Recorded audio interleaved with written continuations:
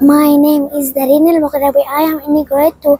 When I grow up, I want to be a teacher to teach students how to write and how to spell. My name is Yaqub Asar. I am in grade 2. When I grow up, I want to be a carpenter. I enjoy making furniture for houses. My name is Ghufran Muhammad. I'm in grade 3 and the future would glad to be a lawyer to defend for justice in our society. My name is Lujain. I'm in grade 3. When I grow up, I'd like to be a photographer.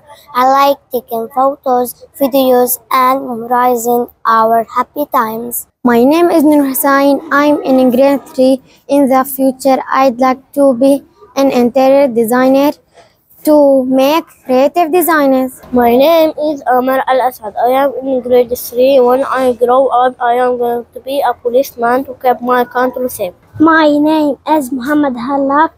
I am in grade 2. When I grow up, I want to be a pilot. I like to drive the plane and fly in the sky. My name is Salam Kaddour. I'm in grade 3. When I grow up, I'd like to be an artist to draw and paint amazing pictures. My name is Muhammad Ghais. I'm in grade 3. I want to be mechanical engineer to fix cars and vehicles. My name is Kamar Al-Barji. I'm in grade 3.